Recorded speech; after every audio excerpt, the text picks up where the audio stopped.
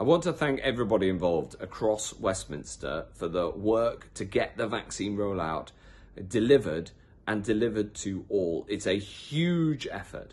Uh, it's been a partnership between the NHS, local GPs, who I'm very, very grateful to all of their work, and of course, Westminster City Council.